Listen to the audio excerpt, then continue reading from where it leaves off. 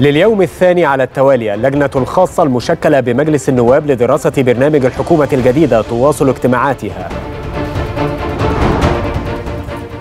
نائب رئيس مجلس الوزراء للتنمية الصناعية يبحث مع مجموعة منصور للسيارات سبل دعم مشروعات المجموعة.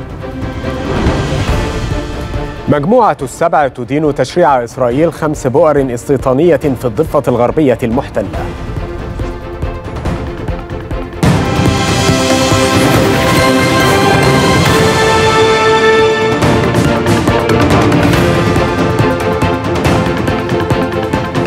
السادسة مساء الثالثة بتوقيت جرينتش نشرة إخبارية جديدة تأتي حضراتكم من القاهرة. أهلا بكم. وبدايتنا مع الزميل أحمد عبد الصمد.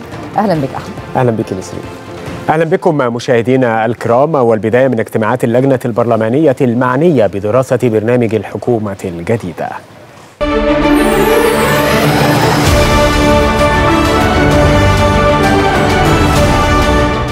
بالله العظيم. أن أحافظ مخلصا على النظام الجمهوري. وأن أحترم الدستور والقانون.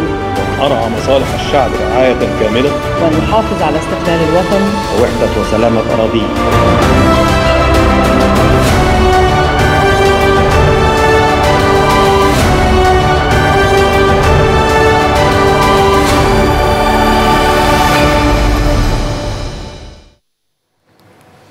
تواصل اللجنة الخاصة المشكلة بمجلس النواب لدراسة برنامج الحكومة الجديدة برئاسة المستشار أحمد سعد الدين الوكيل الأول للمجلس.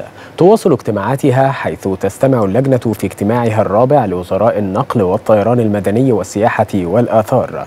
بحضور المستشار محمود فوزي وزير الشؤون النيابية والقانونية والتواصل السياسي.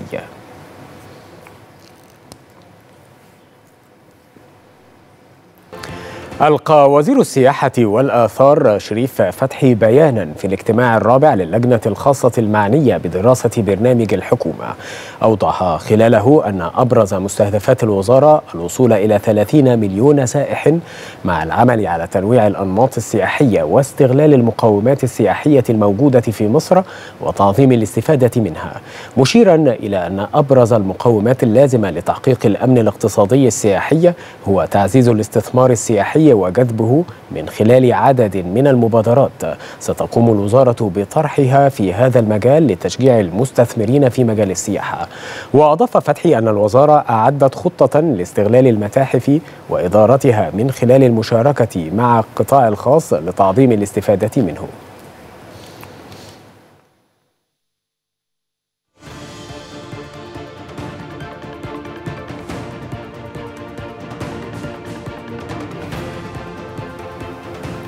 عقدت اللجنة الخاصة بمجلس النواب لدراسة برنامج الحكومة الجديدة المشكلة الاجتماع الثالث للجنة البرلمانية المعنية بدراسة برنامج الحكومة وذلك بحضور وزراء الصناعة وقطاع الأعمال العام والإنتاج الحربي. هذا وصرح المستشار محمود فوزي وزير الشؤون النيابية والقانونية والتواصل السياسي بأن نقاشات اللجنة كانت صريحة وواضحة في جميع الملفات التي تمت مناقشتها واتسمت بالديمقراطية والصبغة العملية والواقعية حيث أن الوزراء عرضوا خلال اجتماع اللجنة البرلمانية برامج تفصيلية لتنفيذ برنامج الحكومة الذي أظهر أولويات الحكومة فيما يتعلق ببناء الإنسان ودعم الصناعة وكذلك تطوير الصناعات الوطنية والعمل على النهوض بها مع وضع المسؤولية المجتمعية في الاعتبار الأول.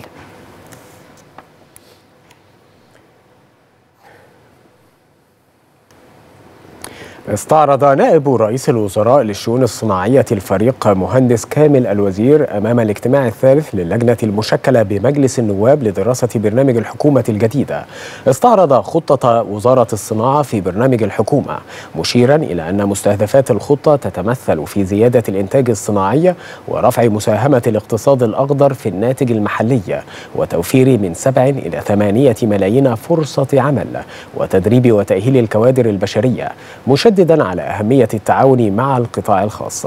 وأضاف نائب رئيس الوزراء للشؤون الصناعية أن أهم المحاور الاستراتيجية للخطة تتمثل في ترشيد الواردات وتوفير احتياجات السوق المحلية وزيادة القاعدة الصناعية وإعادة تشغيل ومساعدة المصانع المتعثرة مؤكدا أن أبرز الاستباقيات العاجلة للوزارة هي التصديق الفوري على أي قرارات تسهم في حل مشاكل المصنعين وطرح حوار مجتمعي مع أصحاب المصانع المتوقفة والعمل على إعادة تشغيلها بالإضافة إلى تدشين منصة مصر الصناعية الرقمية التي تتيح للمستثمرين التقديم عبر المنصة مباشرة لتسهيل الإجراءات عليهم.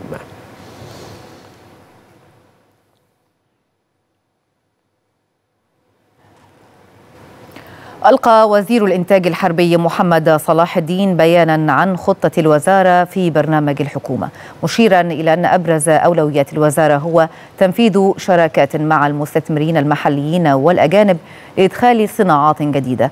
مؤكدا أن الوزارة تدرس الجدوى الاقتصادية لكل مشروع صناعي قبل إنشائه.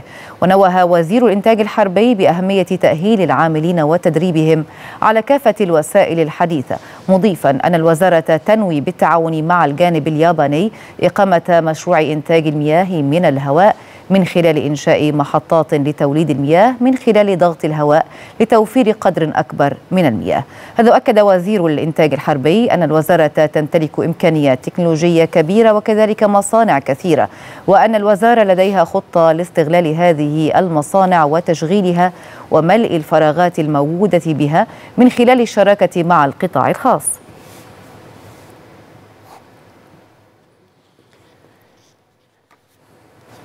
أكد محمد شيمي وزير قطاع الأعمال التزام الوزارة تعزيز المشاركة مع القطاع الخاص وحوكمة الأصول المملوكة للدولة وتعظيم العائد من هذه الأصول وإعادة هيكلة الهيئات الاقتصادية وتعزيز المنافسة العادلة في الأسواق.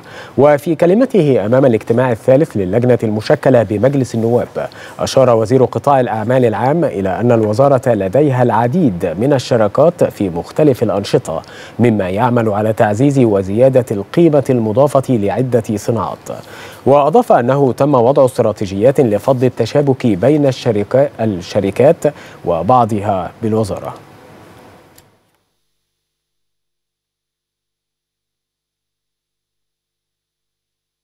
برنامج الحكومة في هذا الملف إن هو برنامج طموح وبرنامج فيه تحديات آه والحاجة الكويسة اللي فيه إن الوزراء المتولين الحقائب فاهمين كويس جدا المعوقات إيه والظروف الاقتصادية التي تمر بها مصر فبالتالي بيطرحوا أطروحات جديدة.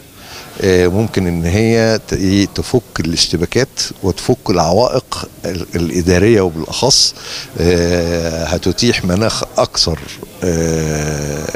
جذبا للاستثمار هتتيح مناخ أكثر لفرص عمل في الشباب. أنا شايف إن مردود اللجان بتاعت إمبارح على الشارع في في في مصر مختلف تماما عن الأول. تجاوب الوزراء معانا في الطلبات اللي إحنا طلبناها منهم لصالح المواطن المصري أنا بقول إن ده إنجاز عظيم للبرلمان المصري مع الحكومة. يعني أنا شايف إن المنهج اللي إحنا ماشيين بيه واستفسارات السادة النواب عن كل المواقف كل وزير على حدة أنا بقول ده نجاح للبرلمان المصري وللحكومة المصرية في المرحلة الراهنة الصعبة اللي إحنا بنمر بيها. ناقشنا كل كل كل موضوع على حدة. كل نائب قال اللي عنده. بمنتهى الصراحة والشفافية استجابة كاملة من الحكومة لكل مطالب النواب اللي بيمثلوا الشعب المصري. تحدثت عن المشاكل أو الموضوعات المتعلقة بملف الزراعة مع هذه الوزارات. بدأت الأول بسياده الوزير كامل الوزير واتكلمت في موضوع الصناعات الغذائية وإحنا الحقيقة في سنة 23 حققنا صادرات زراعية فريش بحوالي 3.7 من 10 مليار دولار وحققنا صادرات من الصناعات الغذائية بحوالي 5.1 من 10 مليار دولار. وبالتالي لو إحنا النهارده شجعنا الصناعات الغذائية وأقمنا مناطق صناعية في مناطق الإنتاج أنا أكيد هقدر أزود هذه الصناعات وفي نفس الوقت هضيف قيمة مضافة بدل ما بصدر منتج خام وهفتح أبواب عمل للشباب وأقيم مصانع آه، أقدر أستفيد منها في دعم الصادرات وفي نفس الوقت توفير الاستهلاك المحلي. كان من أهم المداخلات النهارده إن فعلا البرزنتيشن اللي اتعرضت من آه، معالي الوزير فريق كامل آه، كانت هايلة جدا كانت بتضم آه، حصر للمشاكل كلها. اللي بيعاني منها المصنعين كانت بتضم ملف المصانع المتعثرة وخطته المستقبلية ليها كانت بتضم حتى آه، التشجيع ال- الميكنة في القطاع وعمل والتزامه بعمل منصة رقمية للصناعة المصرية. فإذا دي حاجات كنا فعلا بنطالب فيها طول الوقت اللي فات. يمكن المداخلة اللي أنا آه، اتكلمت فيها إن أنا محتاجة تكون هذه المؤشرات وهذه ال- ال- العرض اللي اتقدم يتحول للاستراتيجية الوطنية للصناعة وتكون جاية لنا في شكل أرقام ومؤشرات ومجدولة زمنيا رقم واحد مجدولة قطاعيا لأن كل صناعة في كل قطاع وليها تحدياتها وليها آه، أفكارها ومؤشراتها وكمان جغرافيا لأننا عندنا محافظاتنا المختلفة كل محافظة ليها ميزة تنافسية مختلفة في الصناعة اللي هي يمكن بتظهر فيها قدام العالم. مساهمة النواب ما تقدريش تميزي وتقولي مين موالاة ومين معارضة لأن فيها قدر كبير من المصارحة والمكاشفة يعني وإيه تصورنا؟ لأن إحنا يعني اللجنة كل أعضائها بلا استثناء يستشعرون أن المواطن المصري حاضر هو الحاضر زي بيسموه الحاضر الدائم في كل مناقشات اللجنة فعين اللجنة على المجتمع المصري وإيه رؤيتنا للحكومة على أساس نقلل من مساحات الغضب ونزيد من مساحات الرضا عند المواطن المصري. هذا الأمر يتطلب أداء صحيح الحكومة الحالية مش هتضطر على زر كده بحيث تغير الحال فجأة لكن يبقى في مؤشرات وبشائر تطمئن إن إحنا هنسير على الطريق الصحيح. شارك المستشار الدكتور حنفي جبالي رئيس مجلس النواب على رأس وفد من البرلمان في أعمال المنتدى البرلماني العاشر لدول تجمع بريكس والمنعقد في مدينة سان بطرسبرغ بروسيا. وفي كلمته أمام المنتدى أكد المستشار الدكتور حنفي جبالي حرص دولة مصرية بكافة مؤسساتها على الانخراط النشط في مختلف آليات وأنشطة تجمع بريكس الواعد مشيرا إلى خطورة ما يجابهه العالم المعاصر في جميع أرجائه من متغيرات سلبية ومتسارعة ومتلاحقة. مؤكدا أن تحقيق السلام العالمي يواجه حاليا تهديدات جسيمة جراء تفشي الصراعات والنزاعات. كما شدد جبالي على أن الأمال تعقد على تجمع بريكس ليضخ دماء جديدة في شرايين النظام العالمي لمواجهة تحديات العصر الراهن ودفع أطر وآليات التعاون الدولي إلى آفاق أكثر رحابة وتعزيز صوت الدول الناشئة في عملية صنع القرار العالمي. وفي ختام كلمته دعا رئيس مجلس النواب إلى استدامة الحوار البرلماني حتى يقوم بدوره المأمول منه والمتمثل في تعزيز آليات الحوار البرلماني العالمي بوصفه خطوة ملحة باتجاه حلحلة الأزمات والقضايا العالمية التي أضحت تهدد بقاء العالم المعاصر والبشرية جمعاء.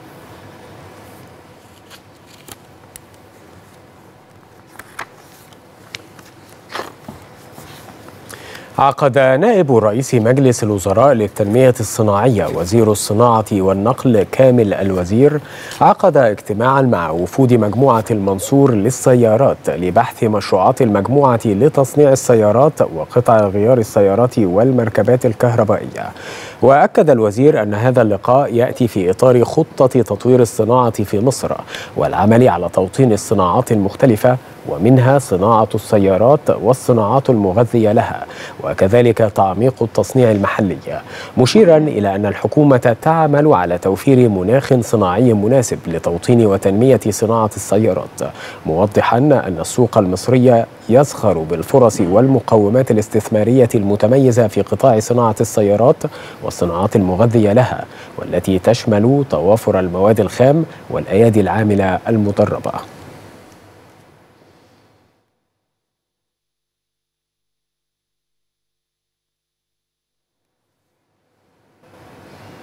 عقد الفريق مهندس كامل الوزير نائب رئيس مجلس الوزراء للتنمية الصناعية وزير الصناعة والنقل.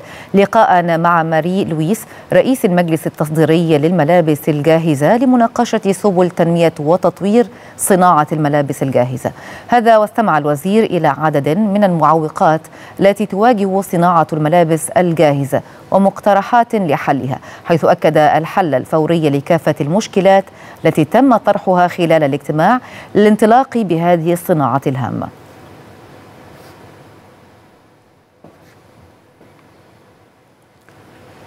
عقد الفريق مهندس كامل الوزير نائب رئيس مجلس الوزراء للتنمية الصناعية وزير الصناعة والنقل عقد لقاء مع ممثلي شركة BSH مصر المالكة للعلامة التجارية بوش.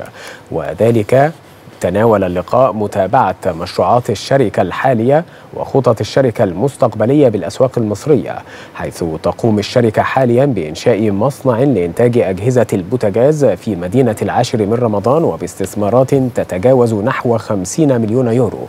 وأكد الوزير الحرص على دعم توسع استثمارات الشركة في السوق المصرية.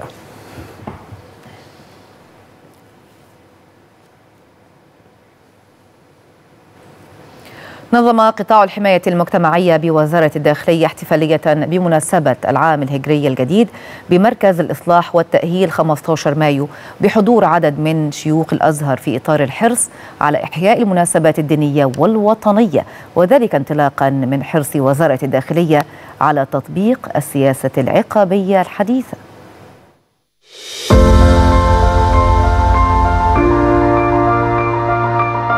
في إطار حرص وزارة الداخلية على إقامة الشعائر وإحياء المناسبات الدينية داخل مراكز الإصلاح والتأهيل تطبيقا للمفهوم الإنساني في السياسة العقابية الحديثة. نظم قطاع الحماية المجتمعية احتفالية بمناسبة العام الهجري الجديد بمركز الإصلاح والتأهيل 15 مايو. شهدت الاحتفالية ندوات دينية بحضور عدد من شيوخ الأزهر للحديث حول دروس الهجرة النبوية ونتائجها والاستفادة منها وهو ما يرسخ لدى النزلاء قيما دينية أساسها الاعتدال. كل حياة سيدنا النبي صلى الله عليه وسلم دروس. نتعلم من كل موقف درس. نتعلم من كل خطوة من خطوات سيدنا النبي صلى الله عليه وسلم عبرة. كيف نتعامل مع الحياة؟ النبي يقول اللهم افتح مسامع قلوبنا إلى ذكرك. لو مسامع قلبي تفتحت لأنوار الوحي لأخذت واستمدت. هحاسب نفسي على الكلمة هحاسب نفسي على الحركة هحاسب نفسي على الفعل. طلع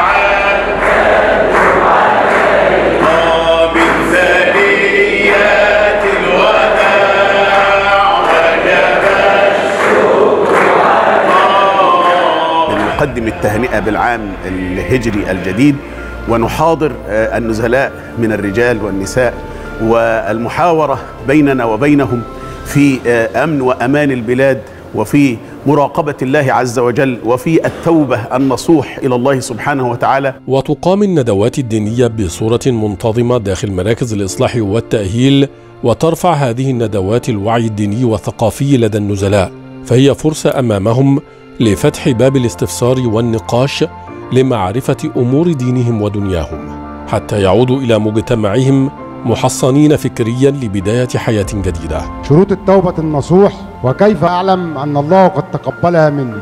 التوبة النصوح يعني التوبة التي لا ترجع فيها أبدا. يا أيها الذين آمنوا توبوا إلى الله توبة نصوحا وخد بالك من حاجة جميلة قوي إن ربنا سبحانه وتعالى مدام وفقك إلى التوبة اعرف إنه عايز يتوب عليك. النهارده كان في ندوة دينية حضرناها إحنا واخواننا النزلاء سألنا أسئلة وأجابنا عليها العلماء بإجابة وافية أفادتنا جميعا. بنهني السيد الرئيس عبد الفتاح السيسي ووزارة الداخلية بمناسبة رأس السنة الهجرية عاد الله على الأمة الإسلامية وعلى الشعب المصري بالخير والأمن والبركات. في حاجات إحنا هنا عرفناها ما عرفناهاش بره من خلال الندوات الدينية. بنعرف حاجات كتير إحنا ما كناش نعرفها عن الدين عن الإسلام آه حاجات كتير ما كنتش أعرفها اتعلمتها هنا. كل أسئلة بسألها بيجاوب عليها والشيوخ بصراحة لما بيجوا بيفيدونا كتير وبيريحونا نفسيا في كل حاجة وبن... وبيردوا على كل أسئلتنا. نستفيد من المشايخ اللي بتجيلنا والدكاترة إن إحنا بنسألهم وبناخد رد على أسئلتنا. بقى فيه تحفيظ للقرآن بقى فيه محو أمية في تعليم. إحياء المناسبات الدينية في مراكز الإصلاح والتأهيل أحد أهم أوجه الرعاية الاجتماعية التي تقدم للنزلاء. ضمن منظومة متكاملة من الإصلاح والتأهيل لتقويم سلوكيات النزلاء وإعدادهم للاندماج في المجتمع. أكد أحمد كوجك وزير المالية أنه سيتم يوم الخميس المقبل صرف نحو ثلاثة مليارات جنيه دفعة جديدة من دعم الحكومة للمصدرين المستفيدين بالمرحلة السابعة لمبادرة السداد النقدي الفورية وأوضح أنه بذلك يتجاوز إجمالي ما تم صرفه حتى الآن في هذه المرحلة إلى 11 مليار جنيه لافتا إلى أنه سيتم يوم الثامن من أغسطس المقبل استكمال صرف دفعات جديدة للمستفيدين بالمرحلة السابعة من هذه المبادرة بما يساعد في توفير السيولة النقدية للقطاع التصديري ومساندته في ظل التحديات الاقتصادية.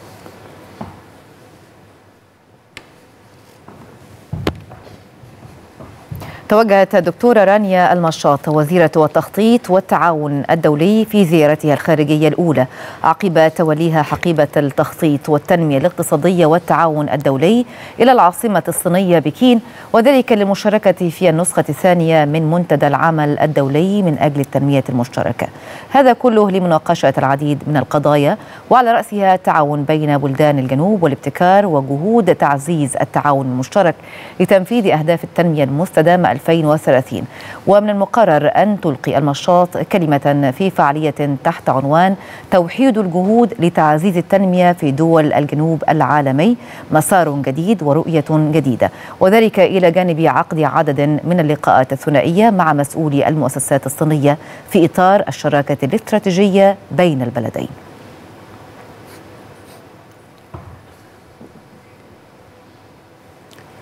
أجرى علاء فاروق وزير الزراعة واستصلاح الأراضي زيارة تفقدية مفاجئة للجمعيات الزراعية بمركز وادي النطرون بمحافظة البحيرة والسادات بمحافظة المنوفية وهي الزيارة الأولى له بعد تكليفه بالوزارة. وأكد وزير الزراعة على التواصل الدائم والمستمر مع المزارعين فضلا عن التيسير عليهم في عمليات صرف الأسمدة ومستلزمات الإنتاج وتقديم كافة سبل الدعم لهم.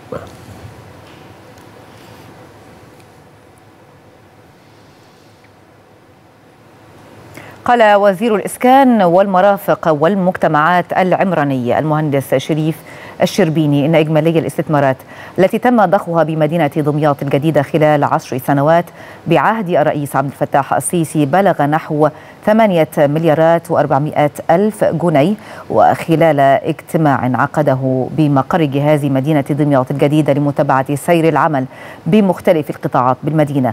وموقف المشروعات التنموية المختلفة الجاري تنفيذها أوضح الوزير أن حجم الاستثمارات الكبير الذي تم ضخه خلال الفترة الماضية استهدف دفع معدلات التنمية بالمدينة وتوفير الفرص الاستثمارية وفرص العمل وهو ما انعكس بالفعل على زيادة حجم الطلب والإقبال على الفرص الاستثمارية المختلفة بالمدينة.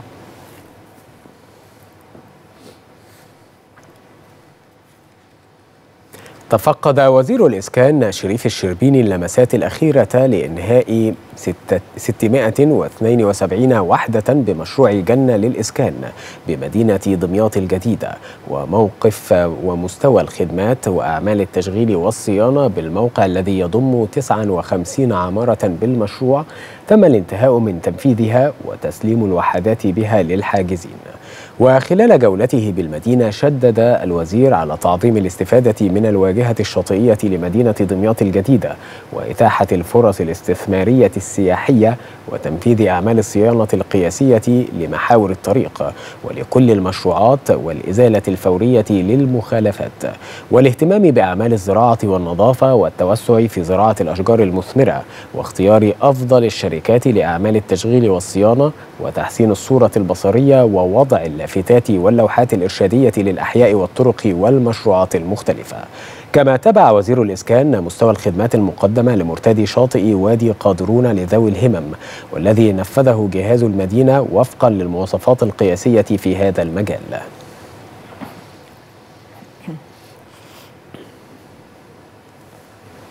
أكد المهندس كريم بدوي وزير البترول والثروة المعدنية أن السلامة أمر مهم جدا. وأن العمل على تحسينها باستمرار هي من الأولويات. وخلال جولة تفقدية لسير العمل في حقل ظهر ببورسعيد شدد وزير البترول على أهمية ما يتم تطبيقه من معايير السلامة والصحة المهنية وحماية البيئة وتحقيق معدلات عالية من ساعات العمل الآمنة. وأثنى بدوي على الشراكة القائمة بين شركة إيني الإيطالية وقطاع البترول المصري. وتجدر الإشارة إلى أن حجم الاستثمارات التي تم ضخها منذ بداية الشراكة مع إيني حتى الآن يصل إلى حوالي 39 مليار دولار. تم إنفاق حوالي ثلث تلك الاستثمارات خلال أعمال تنمية حقل ظهر بإجمالي استثمارات تصل إلى 13 مليارا و500 مليون دولار. بالإضافة إلى وجود خطط مستقبلية طموحة لضخ مزيد من الاستثمارات.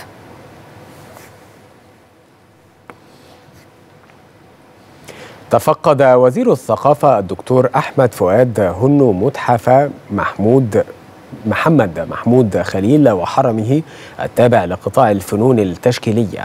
واطلع وزير الثقافة على محتويات المتحف وسيناريو العرض المتحفي ونظم تأمين مقتنيات المتحف. واستمع إلى ما يقدمه المتحف من خدمات وأنشطة لزواره وخطط التحول الرقمي لمتاحف القطاع بشكل عام.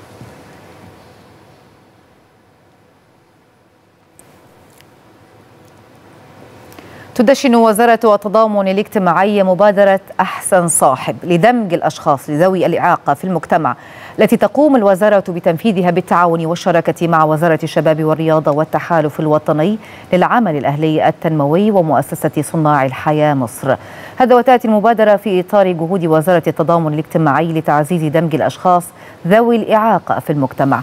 وتقليل العزلة الاجتماعية لهم وزيادة تفاعلهم الاجتماعي من خلال دمجهم في الأنشطة المختلفة.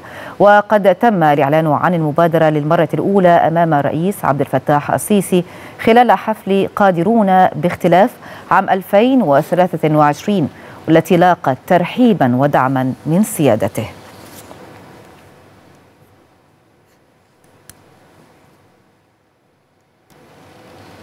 عقدت الدكتورة مايا مرسي وزيرة التضامن الاجتماعي اجتماعا بمقر الوزارة بالعاصمة الإدارية الجديدة مع اللواء جمال عوض رئيس مجلس إدارة الهيئة القومية للتأمين الاجتماعي وذلك لبحث تطورات العمل في ملف التأمينات الاجتماعية. تناول الاجتماع استعراض أبرز الخدمات التي تقدمها الهيئة القومية للتأمين الاجتماعي لتحسين مستوى الخدمات التأمينية المقدمة لأصحاب المعاشات والمستحقين حيث إن هناك ما يقرب من 11 مليون ونصف المليون مواطن يستفيدون من المعاشات بتكلفة تقارب 38 مليار جنيه شهرياً.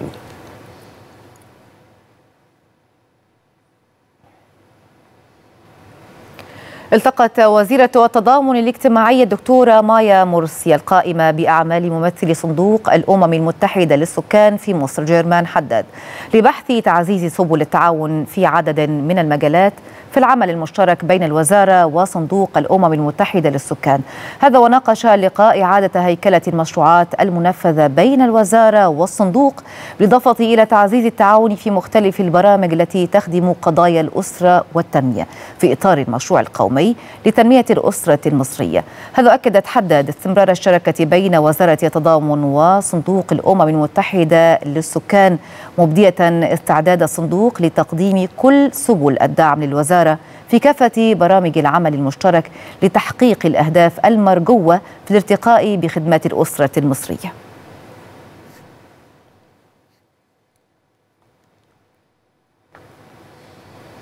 قام نائب وزير الصحة والسكان الدكتور محمد الطيب بجولة تفقدية بمستشفى العالمين النموذجية في محافظة مطروح تنفيذا لتكليفات نائب رئيس مجلس الوزراء ووزير الصحة والسكان الدكتور خالد عبد الغفار بالتواجد الميداني والمتابعة المستمرة للمنظومة الصحية. وحرص نائب الوزير على تفقد جميع أقسام المستشفى والتأكد من تواجد الفرق الطبية بجميع تخصصاتها كما تفقد سيارات خدمة الزيارة المنزلية وطالب الطبيب بزيارة عدد ساعات عمل العيادات المسائية لاستيعاب أعداد المترددين إلى جانب زيادة عدد أسرة القسم الداخلي وقسم الرعاية.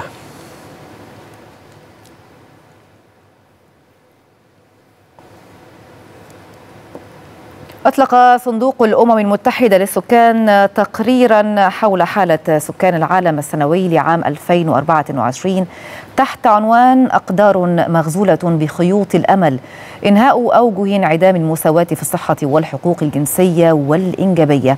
أقام الصندوق فعالية بهذه المناسبة واحتفالا باليوم العالمي للسكان وبذكرى مرور 30 عاما على المؤتمر الدولي للسكان والتنمية الذي انعقد في القاهرة عام 1994 وحضر الفعالية عدد من المتخصصين في ملفات السكان المختلفة لطرح رؤاهم حول مستقبل الوضع السكاني في المنطقة والعالم.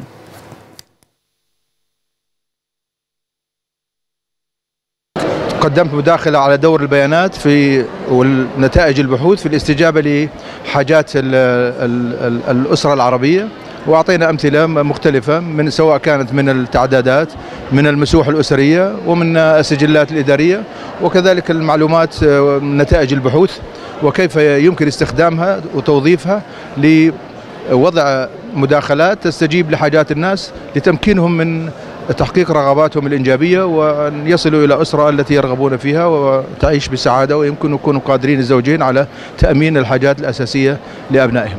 بنحتفل باليوم العالمي للسكان واليوم النهارده له خصوصية عن أي احتفال لليوم العالمي للسكان لأنه بيمثل مرور 30 سنة على مؤتمر القاهرة للسكان اللي اتعمل في القاهرة في 1994 واللي كانت توصياته الاهتمام بملف القضية السكانية بتحسين الخصائص السكانية إضافة إلى تخفيض المواليد بتحقيق المباعدة ما بين الحمل المتعاقب. والحقيقة أنا بحب أنوه إنه مصر ماشية في هذا الاتجاه بمنتهى القوة. رئيس الجمهورية أوصى بأن الهدف الثاني للمرحلة القادمة هو بناء الإنسان وبناء الإنسان لن يتأتى إلا بتحسين الخصائص السكانية. إلى جانب إن دولة رئيس الوزراء تم تعيين نائب لدولة رئيس الوزراء آآ آآ للتنمية البشرية وتحت التنمية البشرية أهمها هي تحسين الخصائص السكانية. فالدولة بتبرهن إنها معنية ومهتمة جدا بهذا الملف. خلال 30 سنة من انعقاد مؤتمر القاهرة للسكان والتنمية كان الاتفاق مع مع أكثر من 150 دولة على أنه قضايا وخصائص السكان هي مرتبطة بشكل جذري في تنمية وسلامة المجتمعات بشكل عام. وتم الاتفاق على إدماج هاي الخصائص في القرارات مش بس للسكان إنما بكافة جوانب التنمية. ما بعد 30 سنة أهمية هاي المواضيع لسه أكثر مما كانت في 1994 واحد عندنا قضايا معقدة خاصة في العالم العربي. أولهم تفشي القضايا الإنسانية الحروب والكوارث الطبيعية. وهذا أدى إلى نزوح داخلي في البلدان والنزوح للبلدان المجاورة. تعامل التعامل مع هاي القضايا من ناحية مجتمعية من ناحية إنسانية من ناحية اقتصادية بدها تأني ودراسة قضايا السكان وخصائصها وإدماجها في جميع القرارات للحفاظ على الخدمات بشكل السليم وحقوق الناس بشكل أخص. الموضوع اللي بيركز عليه احتفال آه، اليوم العالمي للسكان هو البيانات. لكن برضو حابين نقول مرة تانية البيانات مش في حد ذاتها ال- البيانات الكمية مش عدد السكان مش الأرقام. لكن البيان- البيانات اللي تساعدنا إن إحنا نعرف إيه الفجوات. فين إحنا محتاجين نقدم خدمة أحسن؟ فين إحنا مش واصلين للناس؟ فين في أسر محتاجة خدمة تنظيم أسرة وإحنا مش قادرين نوصل لها؟ إزاي نقدر نوصل لهم؟ فين في غياب عن المعلومة ما بتوصلش للناس؟ آه و ويعني بتهيألي إن الجلسة الأخيرة النقاشية كمان يمكن ركزت قوي إزاي ممكن نستخدم البيانات عشان آه نجذب نجذب كمان استثمارات. يعني دراسة الجدوى الاقتصادية اللي اتقدمت اللي بتبين إيه الفجوات اللي موجودة الفجوات المالية عشان نقدر فعلا إذا توفرت هنقدر آه، آه، نلبي كل الاحتياجات آه، من خدمات تنظيم الأسرة اللي موجودة في مصر. وبالعودة مشاهدينا إلى اللجنة الخاصة المشكلة بمجلس النواب لدراسة برنامج الحكومة. وللمزيد ينضم إلينا من مقر مجلس النواب شيرين مجدي مراسلة إكسترا نيوز. شيرين بعد التحية بدأ الاجتماع الرابع لهذه اللجنة والذي يستمع في أعضاء هذه اللجنة إلى وزراء النقل والطيران المدني والسياحة والآثار. ضعينا في مزيد من التفاصيل لديك. نعم أحمد منذ ساعتين تقريبا بدأ الاجتماع الرابع والثاني لهذا اليوم من اجتماعات اللجنة البرلمانية المشكلة لدراسة بيان وبرنامج الحكومة الذي ألقاه الدكتور مصطفى مدبولي رئيس الحكومة أمام البرلمان في مقره بالعاصمة الإدارية الجديدة يوم الاثنين الماضي. وتأتي هذه اللجنة طبعا بحضور رئيس اللجنة المستشار أحمد سعد الدين وكيل أول مجلس النواب وحضور 42 عضوا من مجلس النواب يمثلون رؤساء الهيئات البرلمانية ورؤساء اللجان النوعية وكذلك أيضا أعضاء يمثلون الأعضاء المستقلين والمعارضة كل ذلك بحضور وزراء للنقل والطيران المدني والسياحة والآثار والذين قاموا على مدار الوقت الماضي باستعراض برنامج الحكومة. كل فيما يخص وزارته سنلمح لكم مشاهدينا الخطوط العريضة بأبرز ما جاء في هذا البيان في البداية فيما يتعلق ببيان وزير النقل والصناعة يعني الوزير كامل الوزير والذي تحدث عن خطط الحكومة لجعل مصر مركز إقليمي للنقل واللوجستيات وتجارة الترانزيت وكذلك أيضا خطة لتطوير شبكة القطار السريع وأيضا خطة لاستكمال مشروع مترو الأنفاق وإنشاء 31 ميناء جاف ومنطقة لوجستية وكذلك أيضا تطوير الموانئ من خلال زيادة عدد الأرصفة للجديدة وأيضا متحد يعني محطات متعددة الأغراض. بالنسبة لوزير السياحة والأثار شريف فتحي تحدث أيضا عن خطة الحكومة خلال الفترة المقبلة من خلال زيادة المستهدف من أعداد السائحين ليصل إلى 30 مليون سائح وكذلك أيضا تعظيم الاستفادة من المتاحف ويعني مشاركة القطاع الخاص في إدارتها وكذلك أيضا تنويع الأنماط السياحية وتعظيم الاستفادة من المقومات السياحية في مصر. أما بالنسبة لأبرز ما جاء في بيان وزير الطيران المدني سامح الحفني فتحدث أن الأولوية هي سلامة الطيران وسلامة المجال الجوي وأن هناك خطة لإعادة هيكلة شركات الطيران وتدريب العاملين بها وأهمية تمكين القطاع الخاص من خلال إدارة المطارات. ربما هذه أبرز العناوين التي جاءت في بيانات السادة الوزراء. يعقب هذه البيانات مداخلات بالطبع للسادة النواب لأبرز الإيضاحات والاستفسارات التي يقدموها للسادة الوزراء فيما يخص برنامج الحكومة ويعقب ذلك يعني عرض يعني ملخص عام من جانب أو تعقيب عام من جانب الوزراء. هذه الجلسة الثانية كان يعني في الصباح كان هناك جلسة صباحية أيضا بحضور وزراء لوزير الصناعة والنقل أيضا وأيضا قطاع الأعمال العام وكذلك أيضا الإنتاج الحربي والذين تحدثوا أيضا عن برنامج الحكومة. ربما نعم. هذه صوره من لدي من مجلس النواب. أعود إليكم زملائي في الاستوديو مرة أخرى. شيرين مجدي مراسلة اكسترا نيوز من مجلس النواب بالعاصمة الإدارية الجديدة. شكرا لك.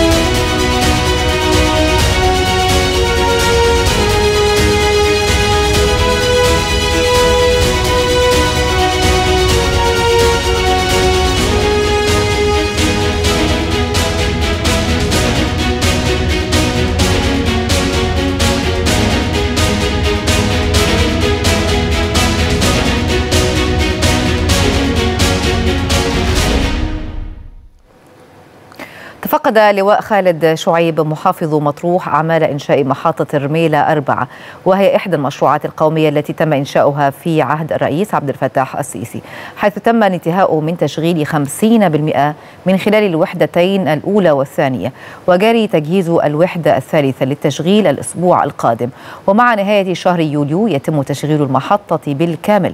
كما تفقد محافظ مطروح عنابر التشغيل وتأمين الكهرباء بالمحطة من خلال ثلاث مولدات بطاقة تقدر ب 2.5 ميجا وات.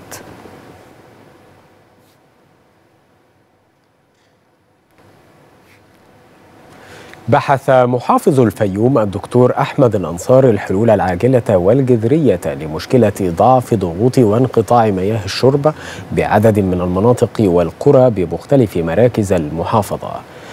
وخلال اجتماع بديوان عام المحافظة شدد الأنصار على توفير سيارات مياه الشرب النقية بالمناطق والقرى التي تعاني من انقطاع للمياه كما وجه بتسريع وتيرة العمل لتطوير ورفع كفاءة محطات مياه الشرب.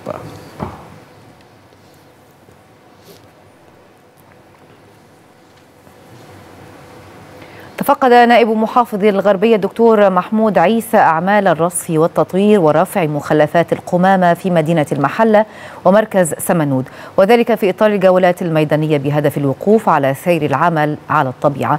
وذلك أيضا تنفيذا لتوجيهات المحافظ اللواء أشرف الجندي بالتواجد الميداني بين التنفيذيين والمواطنين في الشوارع بمختلف مدن ومراكز وقرى المحافظة للوقوف على سير العمل والاستماع إلى المشاكل والعمل على حلها. هذا وشدد نائب محافظ الغربية على ضرورة رفع القمامة والإشغالات أول بأول ومتابعة التزام المحلات بمواعيد الغلق المعلنة خلال فصل الصيف داعيا للعمل على زراعة الأشجار ضمن مبادرة رئيس الجمهورية لزراعة 100 مليون شجرة.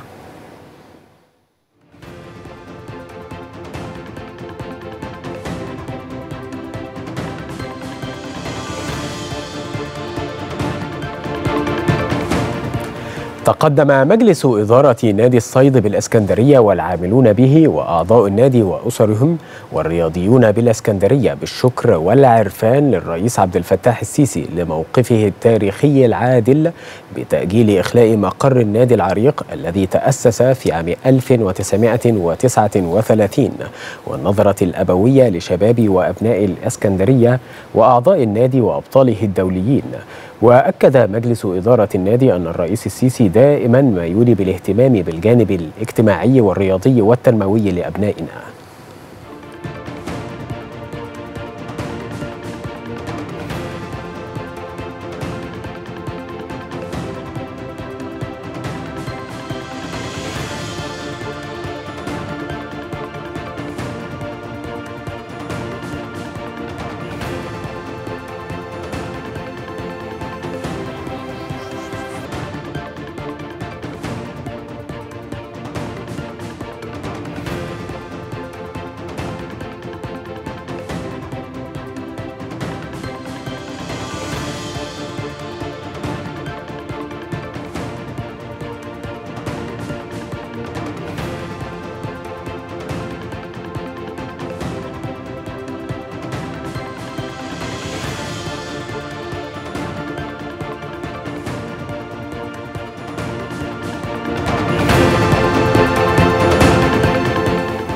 تواصل قوات الحماية المدنية جهودها للسيطرة على الحريق الذي شب بمحطة محولات الكهرباء بطريق الخزان بأسوان وتم الدفع بسيارة إطفاء إلى محل الواقعة للسيطرة على النيران قبل امتدادها إلى مناطق أخرى. هذا وسنوفيكم مشاهدينا بمزيد من التفاصيل فور ورودها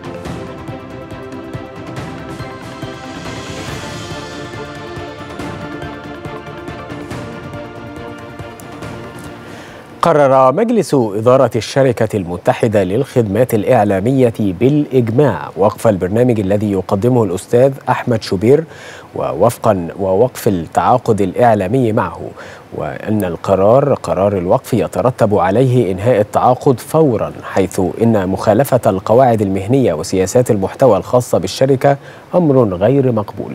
فالشركة المتحدة تضع احترام الرأي العام المصري في مقدمة أولوياتها.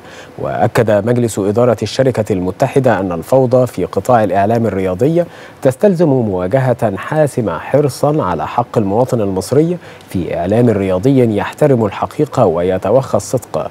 وتؤكد الشركة المتحدة حرصها على أن تقدم كوادرها إعلاما مهنيا يحترم المشاهد وأنها لن تتوانى عن ردع كل من يحيد عن المعايير المهنية التي تلتزم بها منذ بداية تأسيسها.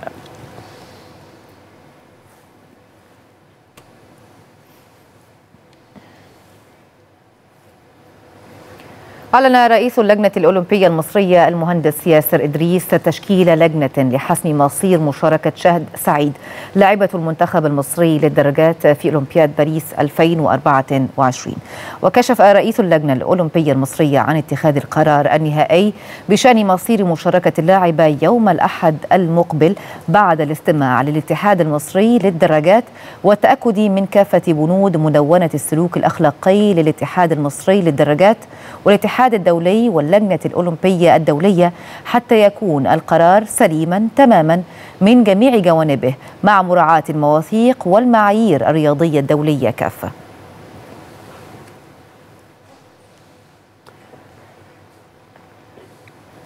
أرسلت وزارة الشباب والرياضة خطابا للجنة الأولمبية المصرية للتوجيه بشأن إعادة دراسة موقف مشاركة اللاعبة شهد سعيد في أولمبياد باريس وفقا للمواثيق الدولية والقواعد الأخلاقية وذلك وفقا للإجراءات التي قام بها الاتحاد في هذا الشأن وموافاة الوزارة بتقرير تفصيلي وفقا للوائح المحلية والدولية المرتبطة في هذا الشأن ومراعاة لكافة المواثيق والمعايير الرياضية الدولية وأخذ بعين الاعتبار القواعد الأخلاقية الحاكمة للمنظومة الرياضية. يأتي ذلك في ضوء ما تم تناوله عبر مختلف وسائل الإعلام بشأن واقعة تعمد اللاعبة بإصابة إحدى اللاعبات أثناء منافسات بطولة الجمهورية بالسويس. وقام الاتحاد بإيقافها لمدة عام وتوقيع غرامة مالية عليها.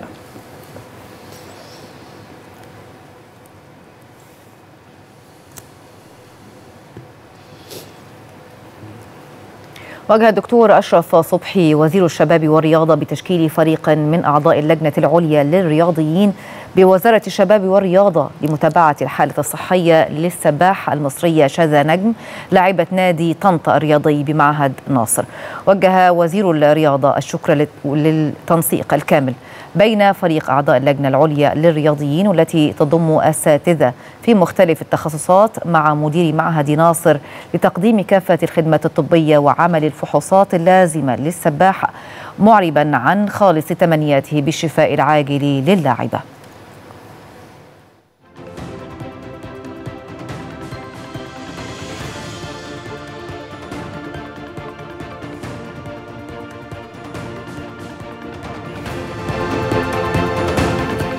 ندد وزراء خارجية الدول الأعضاء في مجموعة السبع بالإعلان الحكومة الإسرائيلية بعزمها على تشريع خمس بؤر استيطانية ومصادرة 100 وألف ومئتين وسبعين هكتار من الأراضي في الضفة الغربية المحتلة.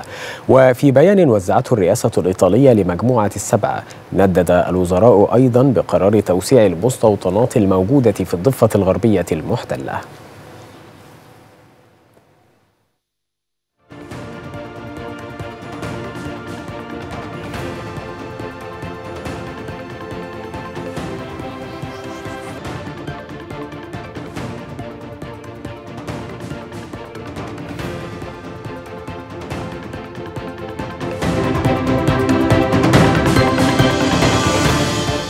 تواصل قوات الحماية المدنية جهودها للسيطرة على الحريق الذي شب بمحطة محولات الكهرباء بطريق الخزان بأسوان وتم الدفع بسيارة إطفاء إلى محل الواقعة للسيطرة على النيران قبل امتدادها إلى مناطق أخرى.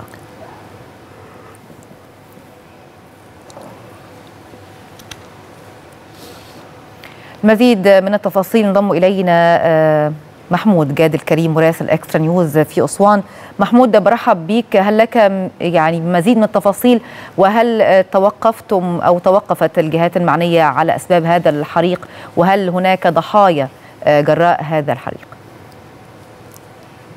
نعم حضرتك فور إخطار سيادة اللواء محافظ أسوان بنشوب حريق هائل في محول كهربائي احتياطي للشبكة وخارج الخدمة على فكرة. هذا المحول كان خارج الخدمة وغير مرتبط بأي أحمال كهربية في منطقة نجع المحطه بطريق السادات في مدينة أسوان اللواء دكتور إسماعيل كمال محافظ أسوان أمر بالتحرك الفوري بالسيارات المجهزة للإطفاء بنظام الرغاوي والكيماوي وهذا ساهم إلى حد كبير في إخماد الحريق. محافظ أسوان أمر بإجراء تحقيق عاجل وفوري للوقوف على أسباب الحريق لتفادي تكراره بلجنة مشكلة من الحماية المدنية وشركة نقل الكهرباء. وأيضا محافظ أسوان كلف السكرتير العام المساعد بالتحرك لموقع الحريق للإشراف على عملية وجهود السيطرة عليه حفاظا على سلامة أرواح وممتلكات المواطنين المقيمين في المنطقة. وذلك وصل حضور عدد كبير من القيادات للسيطرة من سيطرة الشبكة الوطنية للطوارئ والسلامة العامة وأيضا قطاع توزيع الكهرباء. وأيضا هناك متابعة ميدانية ومن مسؤولي الجهات المختصة. بالنسبة للحريق كنا على اتصال بالسكرتير العام المساعد. وأعلن أن تم الدفع بعدد سبع سيارات إطفاء مدعمين برجال الحماية المدنية. والدفع بثلاث سيارات اسعاف تحسبا للتعامل مع أي حالات طارئة والجميع تكاتف وحتى تمت السيطرة على الحريق من الحمايه المدنية والوحدة المحلية وأهالي المنطقة ولم تكن هناك أي إصابات أو خسائر في الأرواح وتم إخماد الحريق تماما. طيب يعني بما إن يعني محمود بتقول إن المحول خارج الخدمة هل هذا يعني أنه لم يكن هناك عمال أو عاملين في يعني هذا الخزان ولم يتم إصابة أي أحد منهم؟ وماذا عن أسباب اندلاع هذا الحريق؟ هل توجد أي أنباء مبدئية؟ والله طبقا للبيان الصادر عن المحافظة كما ذكرت لحضرتك والساده المشاهدين بأنه ليس له أي علاقة بالأحمال الكهربية وكان خارج الخدمة ولم تكن هناك أي إصابات أو تواجد أي أفراد في المكان وحضرتك كما تعلمين أن أسوان بتشهد ارتفاع كبير في درجات الحرارة خاصة أن هذا الحريق اندلع حضرتك منذ ما يقرب من الساعة. ودرجة الحرارة في أسوان ربما في الشمس تصل إلى حوالي 48 درجة مئوية. اذا لا يوجد أسباب حتى الآن أم أنه اللجنة المعنية بالتحقق من أسباب هذا الحريق لم تقل كلمتها حتى الآن محمود نعم بالضبط حضرتك ولكن هناك كان اهتمام بالمحافظ وأصدر قرارا فوريا بإجراء تحقيق عادل للوقوف على أسباب الحريق وعندما نعرف ويخرج بيان المحافظة عن تلك الأسباب إن شاء الله سنوافي حضراتكم والسادة المشاهدين بتلك الأسباب. طيب هل قدرت الخسائر المادية في هذا المبنى الذي يعني احترق يعني كما نشاهد الآن ويعني تستعر نيران منه ويعني تخرج منه نيران وطبعا أدخنة مستمرة؟ لم يتم بعد تحديد حضرتك الخسائر المادية وربما يخرج ذلك إن شاء الله بعد ساعات قليلة بإذن الله مع أسباب نشوب هذا الحريق. نعم، يعني أخيرا هل تم بالفعل إخماد الحريق أم أن المحاولات ما زالت مستمرة محمود؟ تم السيطرة على الحريق تماما وتم إخماده. وفي تلك اللحظة جاري تنفيذ إجراءات عملية التبريد. شكرا جزيلا لك زميلنا محمود جاد الكريم مراسل إكسترا نيوز في أسوان. بالتأكيد هنتابع معاك كل تفاصيل خاصة بهذا الحريق في تغطياتنا المستمرة عبر إكسترا نيوز.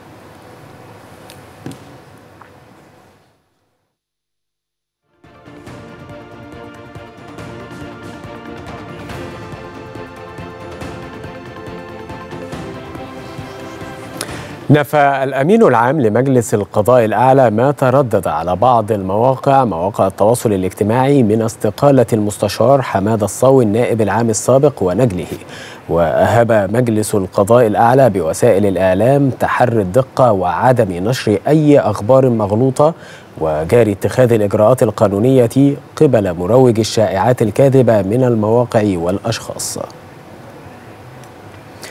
إذا نعيد على حضراتكم هذا الخبر حيث نفى الأمين العام لمجلس القضاء الأعلى ما تردد على بعض المواقع مواقع التواصل الاجتماعي من استقالة المستشار حمادة الصاوي النائب العام السابق ونجله وأهب مجلس القضاء الأعلى بوسائل الإعلام تحري الدقة وعدم نشر أي أخبار مغلوطة وجاري اتخاذ الإجراءات القانونية قبل مروج الشائعات الكاذبة من المواقع والأشخاص.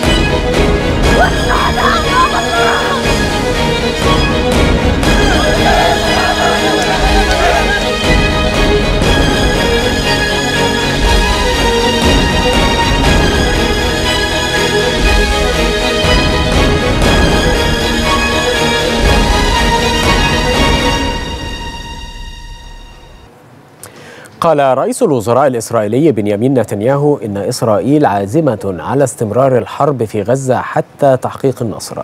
وأشار نتنياهو إلى الاستمرار في العمل على تحقيق أهداف الحرب والقضاء على حماس وإعادة المحتجزين لافتا إلى التزامه بمقترح الصفقة للإفراج عن المحتجزين والعمل على إعادة أكبر عدد من المحتجزين الأحياء في المرحلة الأولى من صفقة التبادل.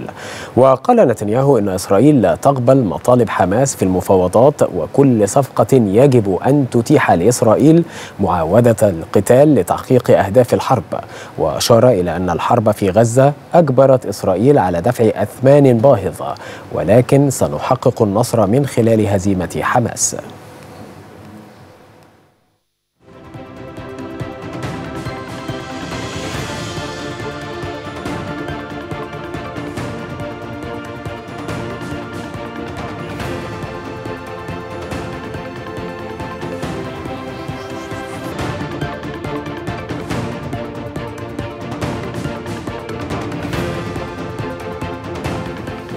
ولمزيد من التفاصيل ينضم إلينا هاتفيا لواء أركان حرب أسامة محمود المستشار بكلية القادة والأركان سيادة اللواء بعد التحية كيف تابعت تصريحات رئيس الوزراء نتنياهو بأن الحرب في قطاع غزة مستمرة حتى تحقيق النصر؟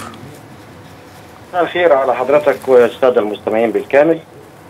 طبعا نؤكد إنها مرة أخرى هذه هي محاولة يائسة وبائسة من بنيامين نتنياهو. نعم. هذا المأزوم سياسيا وعسكريا في وحدة الحرب على غزة.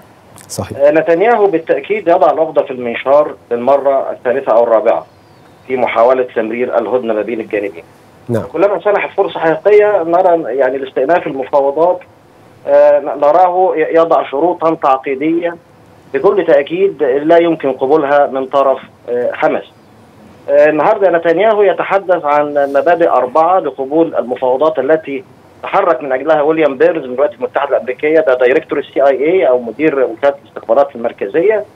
ومعه أيضا ماكجورك المسؤول عن شؤون شمال أفريقيا والشرق الأوسط وعملوا لقاء في القاهرة مع السيد وزير المخابرات العامة. وتحركوا بعد ذلك إلى الدوحة في انتظار لجنة المفاوضات الشاملة ليظهر نتنياهو مرة أخرى يضع الشروط الأربعة وأولها تأتي تحقيق النصر. على حماس. كيف هذا؟ يعني إحنا بنقول إن قناة البث في في في إسرائيل منذ أقل من 20 يوم تقول أن الذراع العسكري لحماس لم يضعف بأقل من يعني بأكثر من 35 ل 40%.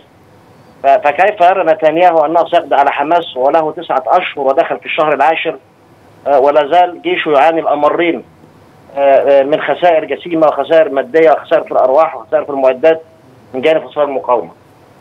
كيف لنتنياهو أيضا ان أن يفرض يعني استمرار ضمان الشمال قطاع غزة خالي من المسلحين وهذا الأمر غير مفهوم هو تكرار للبند الأول. اذا الرجل حتى لم يعد يستطيع القدرة على صياغة البنود بشكل سياسي سليم.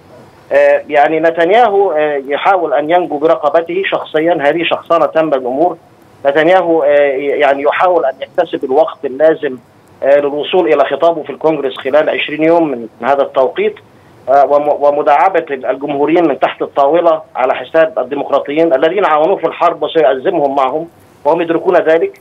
ونتنياهو يسعى للوصول إلى فترة حكم جديدة فترة المتحده الأمريكية منتظرة في يناير 25 على وعسى من وجهة نظري الخائبه طبعا ان أن يحدث متغير ويعني تتعدى الأمور لصالحه وهو ما يؤكد لنا أن هذا الرجل فقد أهليته السياسية وفقد تفكيره السياسي وفقد تقديره الاستراتيجي وأن حتى آلته العسكرية النهارده أصبحت يوما تتحدث عن نتنياهو عن عن صعوبة هزيمة حماس وأمس نرى هرزيها أليبي يتحدث عن استمرار القتال.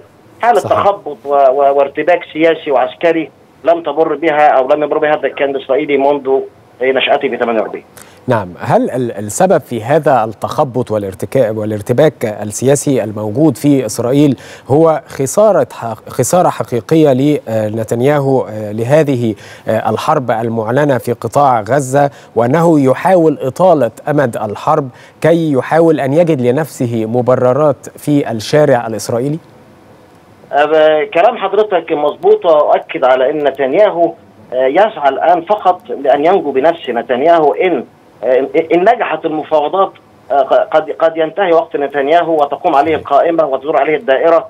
نتنياهو يفهم تماما أن المفاوضات أصلا ضده هو شخصيا لأنه منتظر بكل تأكيد قضايا فساد وقضايا إتلاف وقضايا توريط الكيان الإسرائيلي في عملية عسكرية امتدت كلفتهم المليارات العديد من المليارات حتى الآن. فهو بالتأكيد يسعى بكل شكل من الأشكال لإطالة أمد الحرب فهو ليس في الميدان ولا يستشعر ما معنى هذه الطائرات وقصف المدفعيات وإنما هو يراهن على جيشه وآلته العسكرية ويراهن على إبادة الشهداء المدنيين العزل في قطاع غزة على على على وعسى أن يعني تقوم حماس بالإفراج عن الأسرى أو الكف عن إدارة العمليات العسكرية ضد قواته المتوغله فكلام أكيد هو يسعى لاطاله امد الحرب بالذود بنفسه عما سيلحق به فيما قريب نعم ونتنياهو أيضا أكد أن الحرب في غزة أجبرت إسرائيل على دفع أثمان باهظة، هل هذه وأن الحرب مستمرة بالتأكيد حتى القضاء على حماس، هل هذا التصريح بمثابة رفض صريح للهدنة والمفاوضات التي يعني تخرج من حين لآخر والوساطة المصرية أيضا فيها؟ آه طبعا. هو مش كانت رفض صريح هو رافض في الأساس منذ بداية فكرة ال ال ال الهدنة الثانية مع حماس ولكنها زي ما قلت لحضرتك الأول هي مناورات بائسة مناورات خاسرة مناورات مأزومة للفرار واطاله أمد الحرب. هو هو يرفض الهدنة يعني في الأساس. يعني ليس لديه يعني مهما قدمت نتنياهو تنازلات نرى حماس نعم. تقول لا مانع من انطلاق مفاوضات الهدنة مع مع عدم أخذ الشرط على إسرائيل باعاده القتال يعني حماس وصلت إنها وضعت شرط كانت رفضها من الأول. نجد نتنياهو يمر بطريقة أخرى. هو لا يريد الهدنة مش يرفضها. هو أصلا كفكرة الهدنة ليست في اعتباراته وليست في تقديراته وليست في تفكيره. الهدنة معناها رقبة نتنياهو شخصيا. نعم لواء أركان حرب أسامة محمود المستشار بكلية القادة والأركان. شكرا لك على هذه المداخلة. بهذا مشاهدينا الكرام نكون وصلنا إلى ختام النشرة السادسة. مساء وإلى العناوين.